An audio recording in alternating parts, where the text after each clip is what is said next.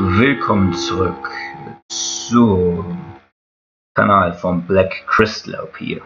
Ja, ich habe jetzt knapp eineinhalb Wochen leider nichts aufgenommen. Heute ist Montag, der 9.4.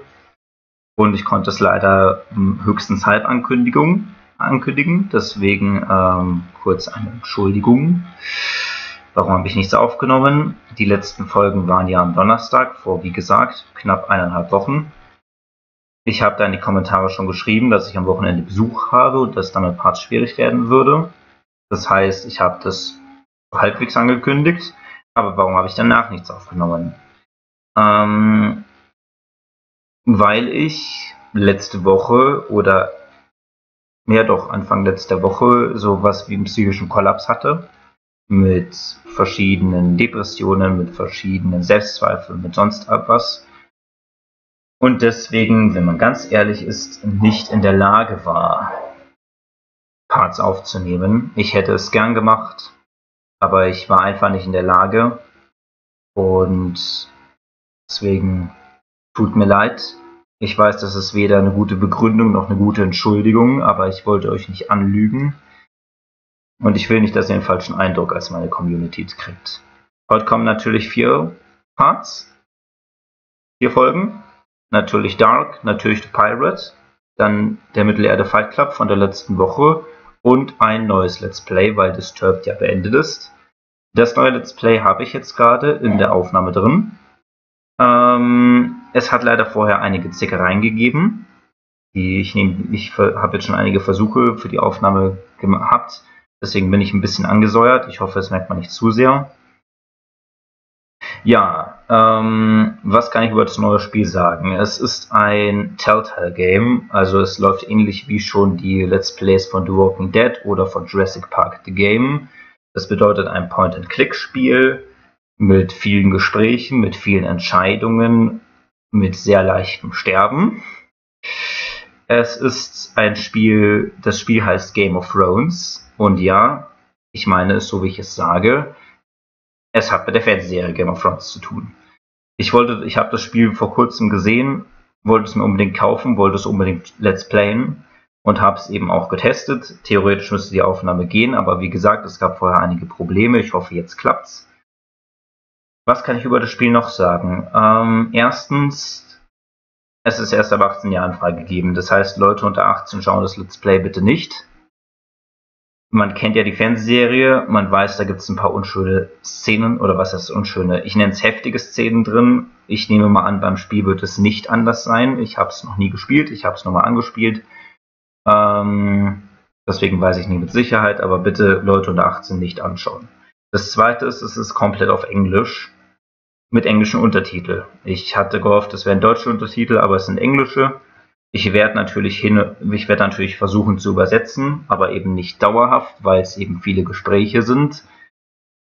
Das heißt, es wäre nicht schlecht, Englisch zu können. Auch wenn ich versuche, es möglichst gut für Leute zu machen, die vielleicht kein Englisch können. Ich meine nur, es wäre nicht verkehrt. Das dritte ist, es wäre auch nicht verkehrt, ein bisschen Erfahrung mit der Serie Game of Thrones zu haben, weil es spielt parallel zur Handlung. Ähm, meines Wissens zwischen den Staffeln 3 und 5.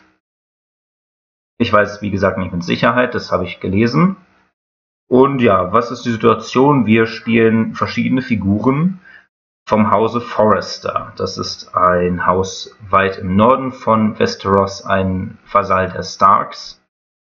Ähm, und ja, wir, wir, spielen einfach verschiedene Leute dieses Haushalts, auch teilweise Diener und wollen natürlich verhindern, dass das Haus untergeht aufgrund der Handlung. Aber ich, ich kenne natürlich jetzt den Anfang, ich werde aber nicht spoilern. Also sagen wir einfach mal so, die äh, Situation ist ziemlich beschissen. Und wir hoffen einfach, dass wir die Situation in verschiedenen Figuren möglichst weit verbessern können. Genau, dann wollen wir starten. Ich habe das Spiel natürlich schon gestartet. Jetzt müsste man es sehen, genau. Ich hoffe, dass es jetzt nicht spinnt.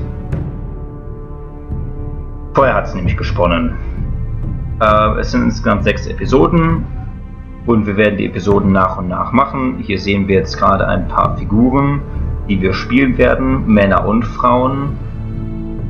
Und genau, ansonsten will ich jetzt gar nicht so viel sagen, sondern wir schauen einfach, dass wir starten. Play. Und wir starten natürlich mit Episode 1. Hier haben wir ein schönes Zitat von Tyrion Lannister vom Gnomen, vom Imp. The Northerners will never forget. Also die Nordländer werden niemals vergessen. Ähm, ja, wir wissen ja, wir starten wie gesagt ungefähr bei Staffel 3. Das heißt, wir wissen, es ist der Krieg von den fünf Königen. Wir wissen, Rob Stark, der King in the North, also der König des Nordens, zieht gegen die Lannisters äh, wegen seinem Vater, wegen seinen Geschwistern und wir als Stark Loyalists werden ihm natürlich folgen ihm. Aber ich weiß nicht, wie weit es geht. Ich glaube, wir folgen ihm nicht lange. Aber mal schauen. Wir beginnen einfach mal die erste Episode.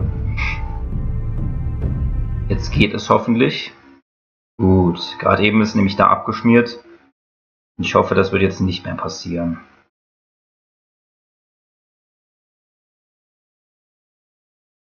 So. Ja, die Game-Serie ähm, handelt äh, nach unseren Entscheidungen und die Story ist jeweils unterschiedlich, je nachdem wie wir spielen. Für tausende von Jahren war House Forrester ein loyaler äh, Bannerman of House Stark, also ein loyaler Anhänger in den dunkelsten Bereichen des Wolfwoods, des Wolfswaldes, ähm, haben sie ihre seltenen Ei Eisenholzbäume und nun sendet der Norden. Okay, ich konnte es gar nicht fertig lesen. Sorry.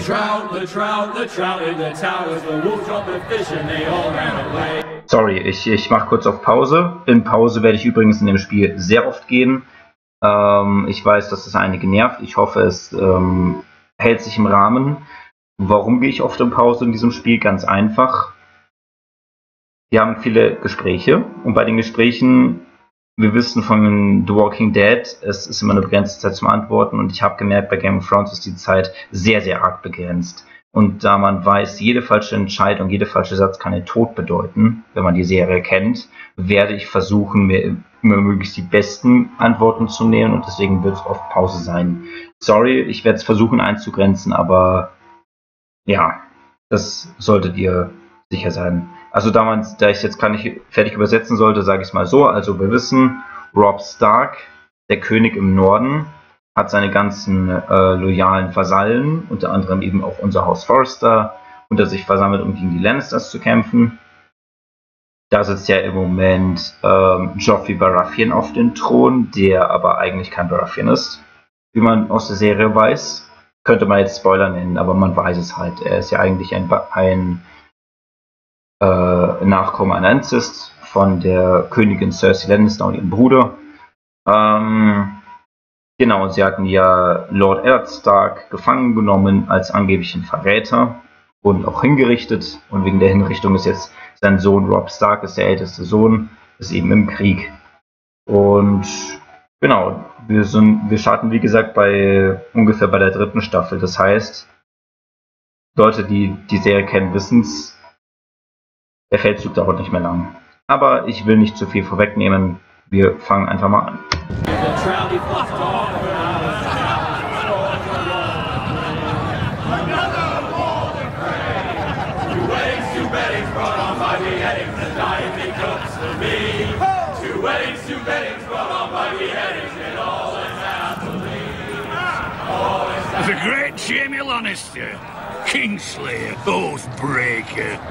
Kurz Pause.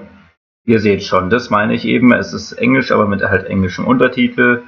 Ähm, Kurzpause, warum? Das ist unsere erste Figur, die wir spielen, Gerard Tuttle.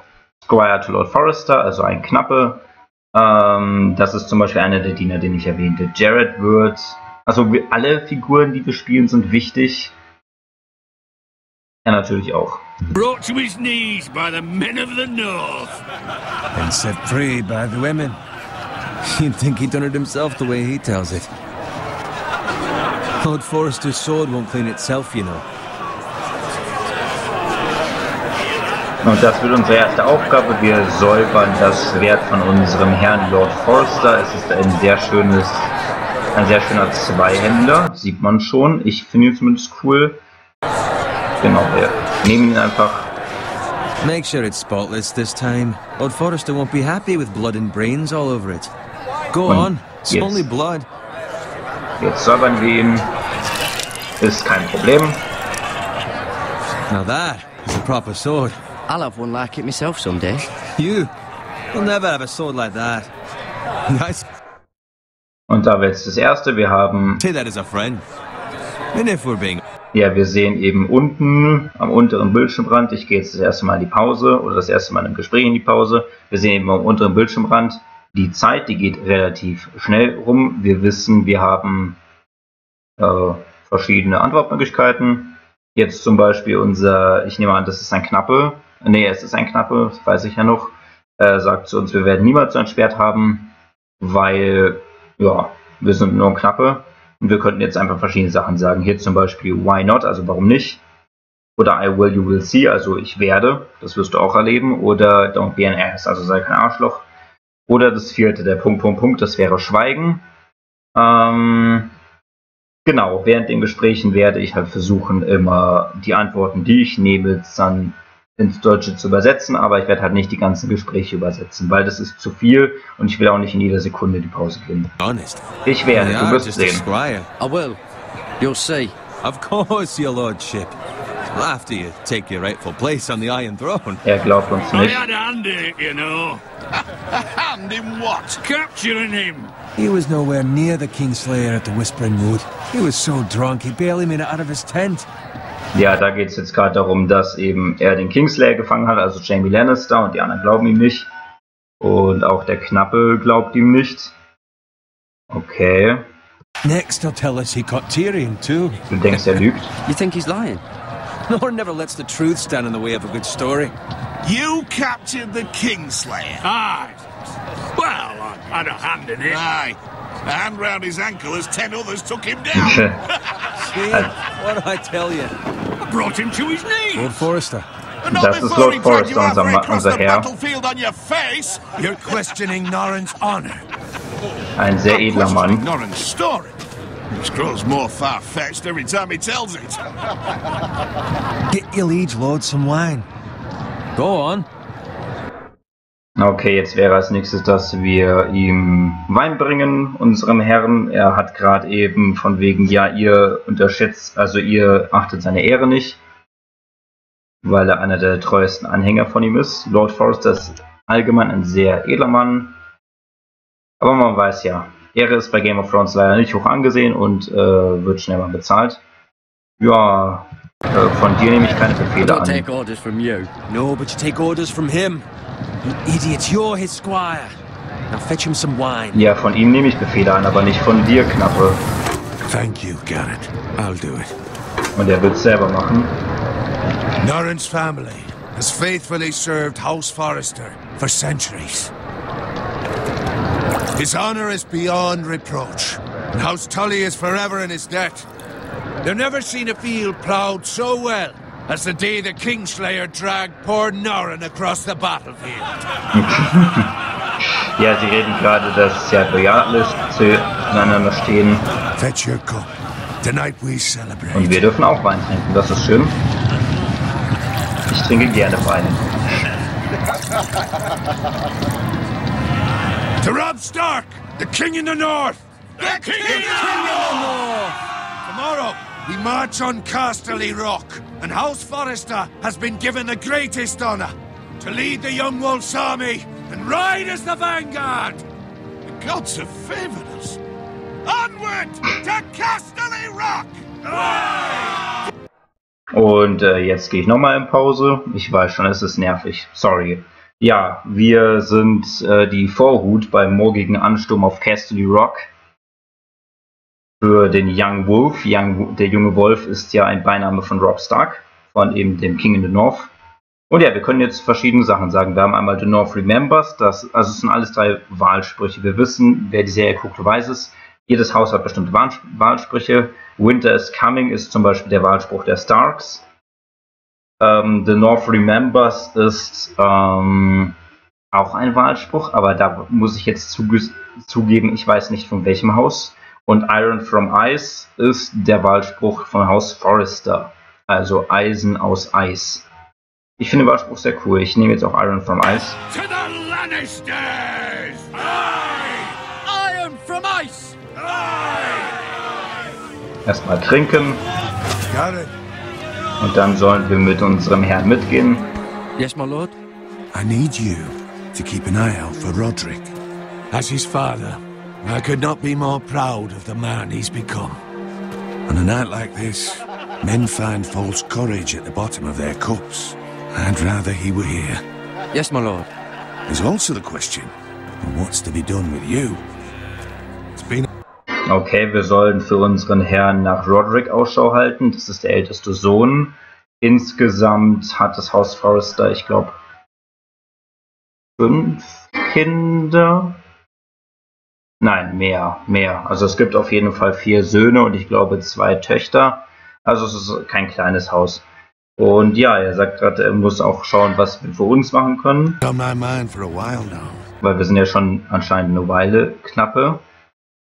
Mit uns, mein Herr. Something must be done. With me, my lord. You've served House Forrester well for several years now, but I can't expect you to squire forever. Wir dienen also schon eine Weile. Und er fragt uns, wie er unsere? Loyalität, äh, wie er uns unsere Loyalität entlohnen kann. Was können wir denn machen? Wir suchen nichts. Wir wollen das Haus ehren oder wir wollen kämpfen. To honor this noble house. You served me well. To bring honor to House Forrester, my lord. You have more honor than those who were born to it. There were those who had their doubts when your uncle put forth your name as my squire. But you've erased those doubts entirely. It would be an honor to see you riding by Roderick's side in the vanguard tomorrow. Und morgen werden Not as a squire, but as the equal of any man who serves House Forrester. Oh, wir, wir wurden gerade, äh, wir wurden gerade befördert. Morgen werden wir in der Vorhut mitreiten mit Roderick. Nicht mehr als Knappe, sondern als Soldat. It's well deserved. Ich bin nicht länger ein Knappe. So I'm no longer a squire. As of tomorrow, no. But for now, keep this between us. We're celebrating tonight, and I wouldn't want the other squires to feel discouraged. Und er will, Yes, dass wir es für uns behalten. Now go and find Roderick if you Und can. jetzt haben wir Roderick. Will. Keine Sorge, das kriegen wir hin. Leider muss ich dir manchmal zwischenquatschen. Bloody hell. Empty. Squire! Fetch us more wine. Und wir you sollen give me neuen a Wein hand? holen. Come on. Make it up to you. Ja, wir sollen neuen Wein holen. Das machen wir natürlich. Kein Problem. Yeah, no problem. Wir sollen ja nicht sagen, dass wir kein Knappe mehr sind. So, I outrank you. You should help me. Ich helfe dir auch. Und du bist. Ich bin kein Knappe mehr im Gegensatz zu dir. Naja. Wir sollen es ihm ja nicht sagen. Deswegen behalten wir es mal für uns. Fetch more wine, scrub my armor, clean my boots. Just my luck to end up with Norin while you serve the Lord. Let him Ja, sorry, das macht aber ein Knappe. Also er beschwert sich gerade von wegen, ja, ähm, dass er halt Wein holen soll, die Rüstung in Ordnung halten soll oder halt auch die Stiefel reinigen. Aber sorry, das macht ein Squire. once. könnte schlechter sein. He's a drunk, a liar, and an arrogant prick. you'd better watch your tongue, Bowen. It could be much worse. What the fuck do you know about it? Nothing is worse than Norin. Sagst du. See, that's where you're lucky. Low expectations. If I'd grown up covered in pig shit, shovel, and slop, well, maybe I'd think saddling his horse was the greatest honor in the Seven Kingdoms. I suppose this beats pig farming. But Wir sind nicht not by unterschiedlich. Don't get angry with me. We're no different, you and I. much. But I'm not the son of a pig farmer. My father had dignity. Ja, wir sind der Sohn eines Schweinehirten oder eines Schweinezüchters. Aber noch 10 Minuten, scheiße. Ähm, und man hat schon gesehen, das Spiel speichert automatisch. Wir können nicht selber speichern. Das heißt, wir spielen auf jeden Fall noch bis zum nächsten Speicherstand. Ähm, wir sind der Sohn eines Schweinefarmers, äh, äh, Züchters. Deswegen äh, guckt der andere knapp auf uns, der Bauern, ein bisschen herab. Hat ja auch gemeint, von wegen, ja, ich bin schon länger knapper als du. Ich äh, kann dir befehligen was ich von ihm ziemlich asozial finde, muss ich sagen. Ja. All Aber- I'm saying is, at this rate, we'll never be more than this, which is nothing. The lowest of the low. Nein, mein Lieber. The lowest of the low wäre Bettler oder Tod. Knappe ist relativ hoch posten, postenmäßig. For all I know, we could be squires for life. Pulling wine around a fucking wedding. You will get there. fucking time. Give it time. You'll get there. More easy for you to say. Maybe if my uncle were castellan at House Forrester, I'd feel different. Das ist der zweite Grund, warum er uns nicht, also er mag uns schon, aber warum er ein bisschen uns neidisch ist, weil unser Onkel ähm, der Kastellan von Haus Forrester ist, also der, der Verwalter. Und er dann denkt, wir hätten Vorteile.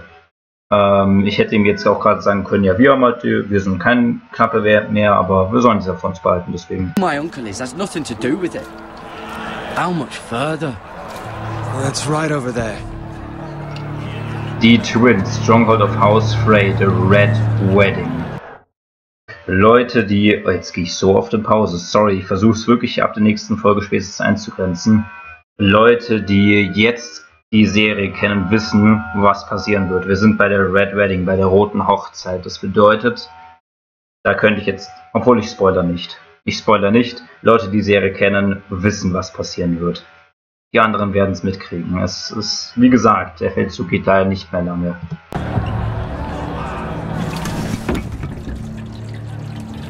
Take your time. Da ist zum Beispiel ein You Frey. lot have drunk your share. Good thing, Lord Walders. In a generous mood. Und der ist ziemlich unhöflich. Phrase. Nice night for a wedding. Und die anderen haben alle Waffen.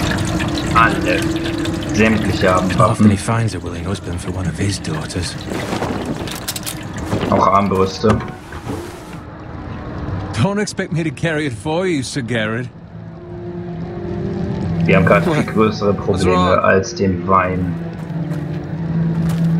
Wir haben gerade viel größere Probleme als den Wein. Und wir hören den Rain, Rain of Castamere. Wir hören gerade den Rain von Castamere. Das war ein, ist ein Lied, das so heißt.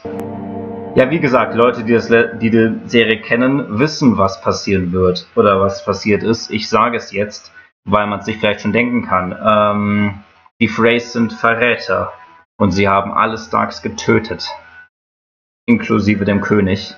Und sie werden auch uns versuchen zu töten. Wir müssen jetzt We weggehen. Jetzt. Es ist überhaupt nichts fein.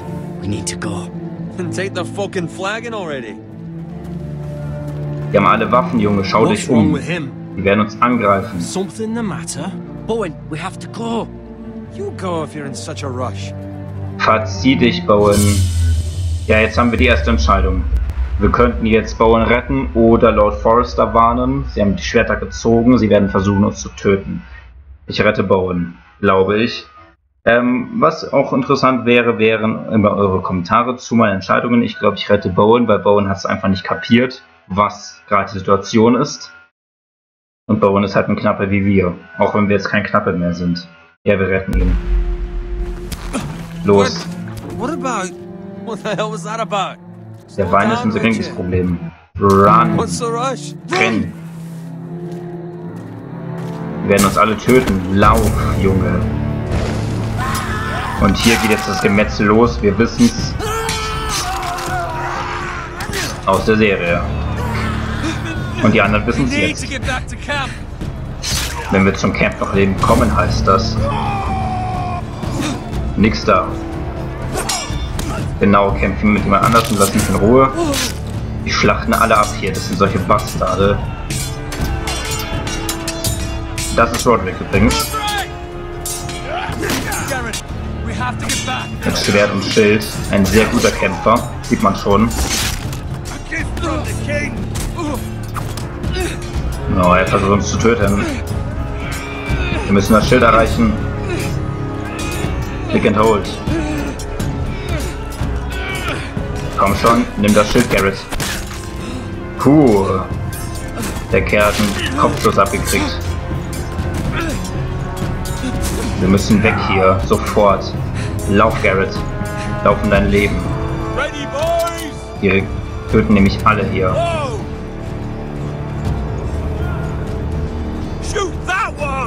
Ja, Feigling. War das doch nicht auf uns. Hau ab. So, Schildstoß. Danke für die Hilfe, der wollte uns nicht gerade töten. Lauf, Garrett. Wir sind immer noch nicht in Sicherheit. Look out. Da haben wir einen Karren, der explodieren könnte. Na, jetzt habe ich gerade verpatzt. Okay, jetzt sind wir gerade unter den Karren. Wir sollen vorwärts kriechen. Komm schon, Garrett. Komm schon, komm schon, komm schon. Beweg dich. Fuck. Der Karren stürzt zusammen. Oh, gerade noch rausgekommen. Aber wir mussten ein Schild aufgeben. Und da war jetzt ein Save-Punkt. Man hat oben einen Save-Punkt gesehen. Wir haben aber noch 5 Minuten. Das heißt, zum nächsten Save machen wir noch. Und wir sehen hier wieder Roderick. Wir müssen ihm aber helfen. Der ist in Unterzahl hier. Und natürlich ausweichen. Nein, du wirkst mich nicht. Geh bloß weg, Junge. Dass die hier alle umbringen, das ist so krass. Okay, hier kommen Pferde. Vielleicht... Na, lass uns los. Wird er überritten? Mal wegtreten. Ja, er wurde überritten. Sehr schön. Wir müssen weiterlaufen. Nein, Roderick wurde verletzt, weil er nach uns geguckt hat.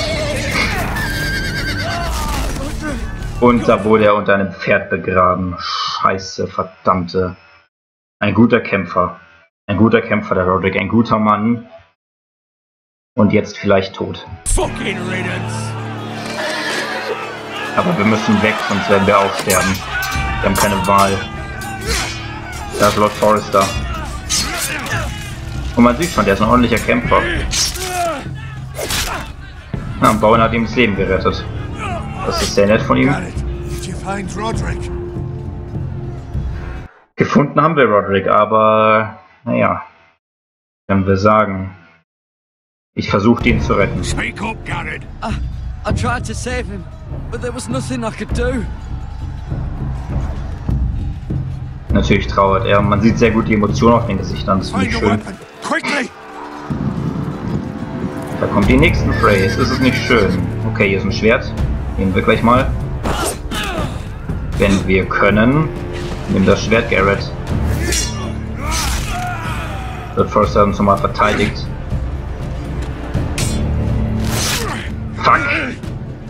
Oh, diese Penner mit ihren... Ja, Verräter, Verräter trifft's gut. Diese Penner mit ihren scheiß Armbrüsten. Wir können uns noch nicht zurückziehen. Aber wir müssen. Seine Männer decken uns den Rückzug. Aber unser Lord sieht nicht gesund aus. Absolut nicht.